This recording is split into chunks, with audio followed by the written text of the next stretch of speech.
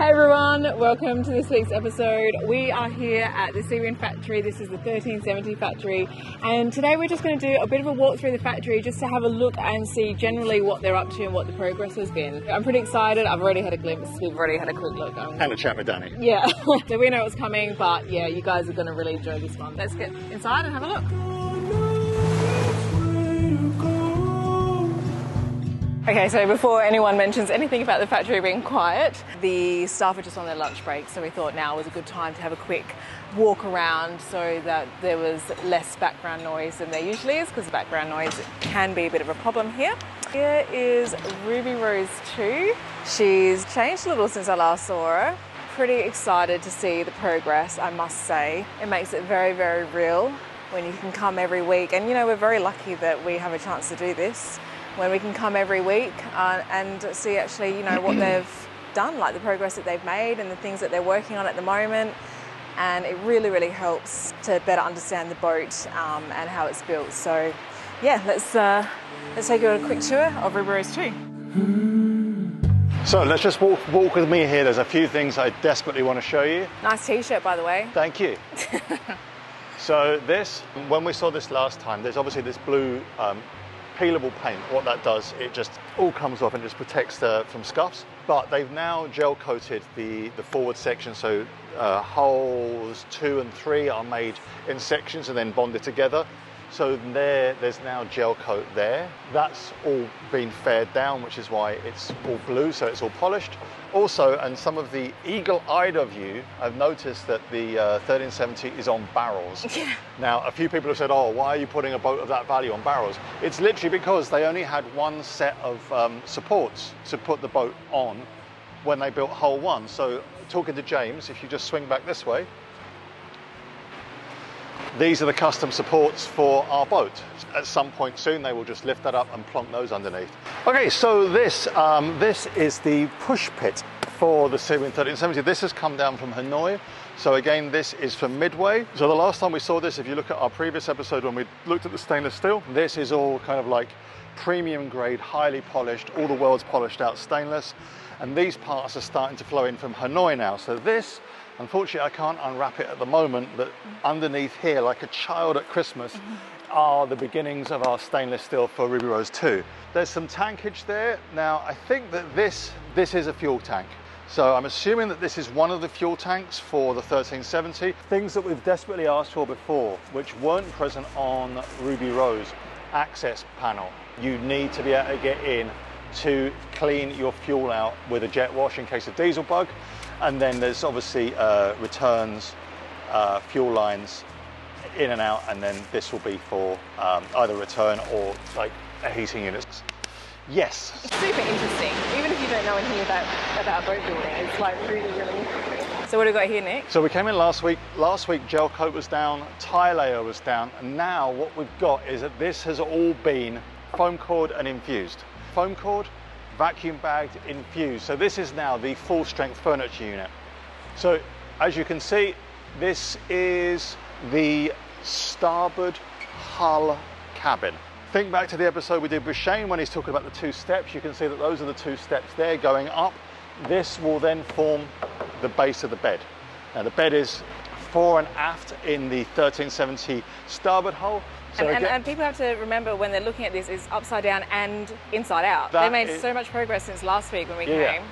So last week they were just doing the tie layer on this, So- this piece of furniture. This is the master cabin on port. Foam core's gone down, everything's now been infused. Different types of foam core would you can see the difference here between the size of the cuts here, where you've got something which is literally just meant to be like in, in two dimensions. There's a larger grid spaces, and then you move around to here where you've got more complex shapes which may need to be bent. There's smaller there's smaller grids there. Then you move to areas like this, which is you know this is actually you know these are pretty complex shapes. That's going to be our bed. That is the head of our bed, upside down and back to front. Here, where we're talking here, this is where shelving's going to be. This will all be um, wood faced. Wood face, really good album, Crowded House. Once that's released, you'll be able to see the shelving there. So that's that's our bed. Let's go and have a look at this last piece because this is still in the process of being foam cored. You've got gel coat, tie layer, so you've got another layer of fiberglass. then you've got the foam core, and then this will be bagged and infused. Can you just um, confirm? This was a question that we got asked on one of our um, episodes recently. The foam core has all of these cuts in it, so that I mean, it's not obvious here because it's all in uh, like a straight line, but when it's um, being put over like a curved surface, so that it molds to the. There's two reasons for it. So Okay. come, come closer. so this foam core, these grooves aren't all the way through. They're Okay. only surface grooves. Yeah. Right? So these surface grooves mean that when you put the vacuum bagging on and then you put the vacuum on, you actually draw resin through I more at a, at a more effective way. So these are not to create shape, it's to create less problems with the infusion process. Whereas when you've got the full deep cuts, then you can create um, shape. This is what we call infusion cut. So it's plain perf this side infusion cut this side. So it's got shallow, very shallow grooves. And so you can imagine if you're trying to infuse a boat, this is your mould, and you've got laminate here, you've got foam here, and you've got laminate here. And the resin comes in from the top. So you've got to get the resin down below. Having these little grooves allows the resin to travel underneath more rapidly. The 1370, what we did, we went to the foam supplier and we worked very closely with them. Yep. We have a full 3D model of the hull shape, and they sit down and they design all the foam to fit all the different curves. Sometimes they put what we call one direction cut, so it allow the foam to conform over a, a- curve that way. If Yep. we've got a compound curve, then we'll need two direction cut. You can see that it's quite flexible and will bend around to eliminate as many cuts as possible because they obviously fill up with resin. This is closed cell, so the resin can only permeate through these through the cuts. And then you've got areas here that every panel is mitered. Yeah. So you've got no sharp edges there. And so these these this is all pre pre infusion. It is pretty interesting. And you know, we talked about things like this in the video that we put out before. This whole vacuum system, for creating a vacuum and then drawing the resin through. And this is all done in sequence so that they actually know what sequence to kind of open the valves to draw the resin through in the correct order. So yeah, it's like it is super fascinating. This is really thin. The size of the grooves is really, really small. So this structurally doesn't have as much necessity. Come around to the other side. This is probably easier to see here. Mm. This twice as thick. So Yeah. Well, why is that? Sorry. well, because they, this is all done with, it's computer design, right? So they will work out where they need to create more strength, and it's a balance between creating strength and saving weight. Look. Okay, so we have the- one more thing. One more thing to in show this you. part of the factory. What, pray tell, is this? This is the hard top. That's amazing. It I don't know if we're going to be able to get this It's to huge. scale. Like, I don't like- know whether people can appreciate the scale. This is me. I believe that this recess here is the, um, traveller. the main sheet traveller.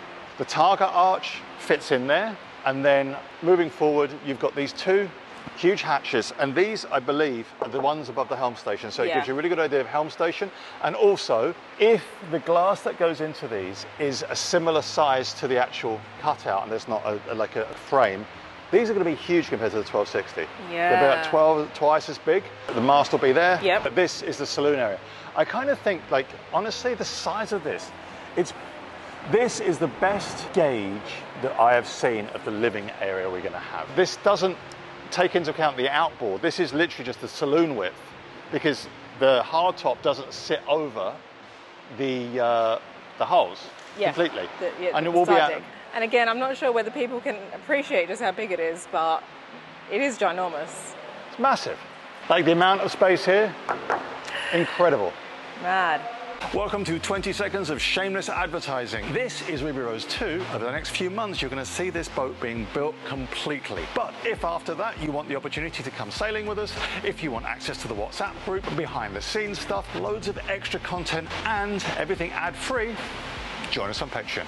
After last week's visit, we are back on the deck. It's huge. A week ago, we came to the factory and saw that the deck for Boat 1 was under construction. This was the first time we'd seen the deck, and our first impression was just how huge it was. Yes, that is becoming quite the theme. If you're keen on a more detailed look at the deck, make sure you tune in next week. Now, being where everything is back to front and upside down, but what you can see, they are now making a lot of uh, progress in doing the plugs for the headliners. So all these templates that are made in, it's just MDF, these will be used to make uh, custom headliners Cái này làm gì? buông cái lắc Cho cái này dùng cái này. So basically they're making the templates to infuse this. And come on.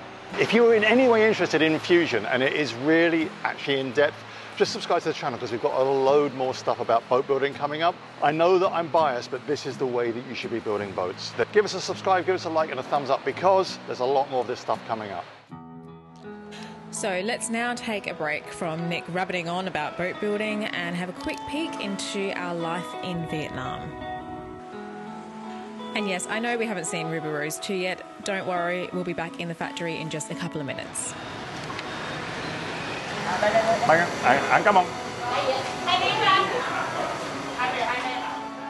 We're getting two boom chars, Hanois, and I'm going to get a nem on the side. Và anh muốn uh, uh, một, uh, một nem run. We have um, bún chả. So good. One of the many things I like about this place is that like you don't like you don't order. You just sit down and then bring your food Uh-huh. like within seconds.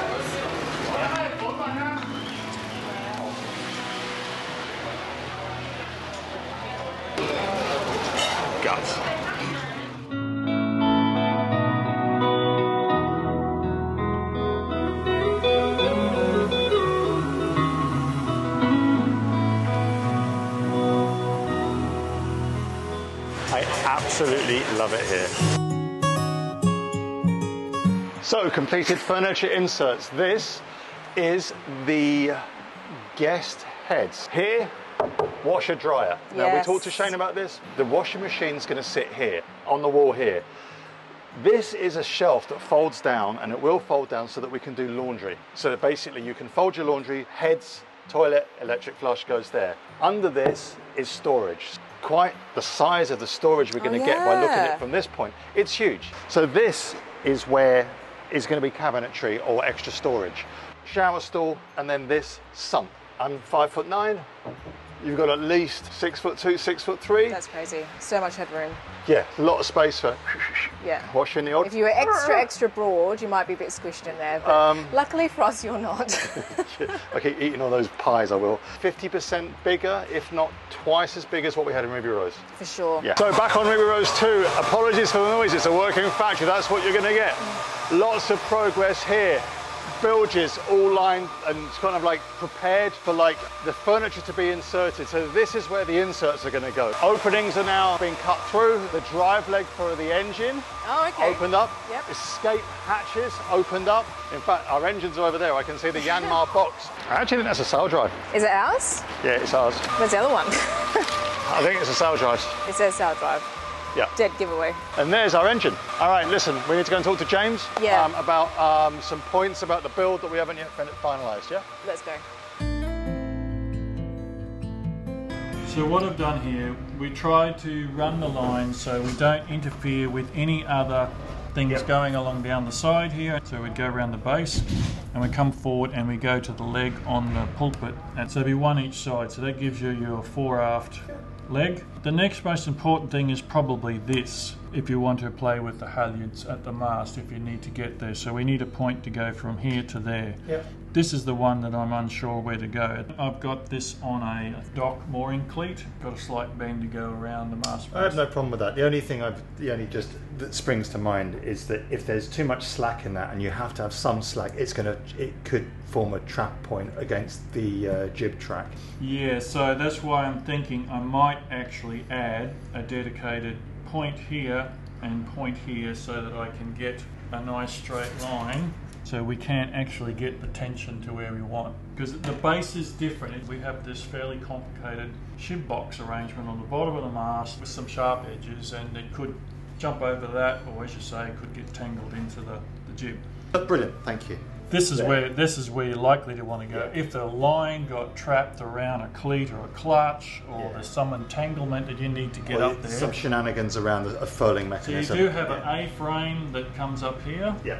and you've got a wire down there and a wire there. So in theory, you've got all these attachment points along here to get from here across and over to there. I think that as long as there's a contiguous wire there, Yeah. that will get you halfway across. Look, we only ever use three point three point harnesses, so an obstacle doesn't cause an obstacle. Yeah, this is the one that run across the roof. So, of course, if you want to go up there for whatever reason, particularly if you're in bad weather, I don't know whether to put a hard dedicated point on the deck between here and here and that's down on the deck, or should we put something on the boom? My concern would be for a fixed point there is if you're tied to it and you say for instance something is really going tits up Oh, the boom moves. and you suddenly jibe the boat and you're then you can't get out the way of it yeah. Yeah. i don't know talk to talk to everyone about it but i i don't think i'd use it because that would be my fear that a crash jibe and i'm no, and i'm tied right, to the, yeah. to the coach roof the boom is easy to tie yourself to Yeah. using uh, just using the main sheet just one thing i was talking to mike about this morning uh, the preventer system It's like the 1600, so there is a, a hole in the bottom of the boom, and you have a line here, and then there's a pad eye on each side of the deck. yeah That when the boom's over this way, you can bring the line to this way, or if it needs to, it can go to the other way. So it's just a single line that you have to move from one side to the other. Uh, it comes back to the cockpit, so it's, it's so that pad eye is it, has it got a block on it or is it just an eye? no, no, it's just an eye that you snap to, but uh, the cockpit is a clutch. So it's got a shackle here, comes up here, goes all the way to the boom, back down into the base, Oh, and then okay, comes yeah, feeds okay, back that's to the yeah, cockpit. I, I thought it was going to do that. Okay. Yeah, that makes sense.